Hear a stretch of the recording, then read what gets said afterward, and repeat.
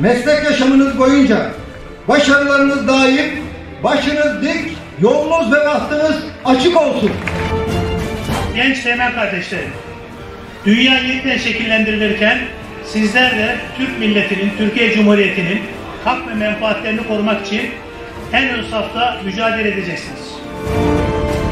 En genç subaylar olarak milli değerlerimize sahip çıkacağız. Her zaman Türk milletinin ve seçilmiş millet iradesinin emrinde olacağız. Siz genç teğmenlerimizin de katılımıyla birlikte Türk Silahlı Kuvvetlerimizin daha da güçleneceğine inanıyorum.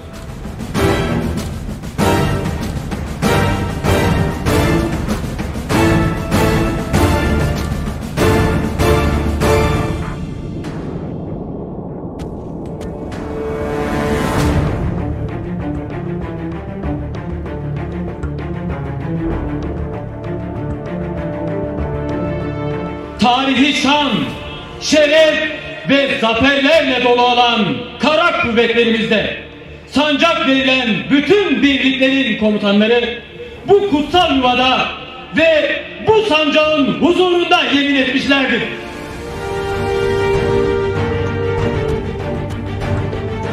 Sancağımı öpüyor ve teslim alıyorum.